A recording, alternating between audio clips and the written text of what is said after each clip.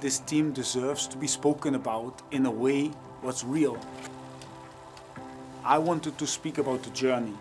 I wanted to speak about all the decisions we make day by day. Does it have any secrets? Yes. You see the training, you speak about team selection, the team talks, how Jurgen motivates, how he goes for the hearts of the players. When we do something, we do it 100%. So no holding back, and that's exactly what this book is about. We've held nothing back, and it's the most accurate account of modern day Liverpool Football Club that you will read. Why? Because it's real, it's now, it's authentic, no changes, and it's from the inside. You will discover what we're all about in a way you never have been before.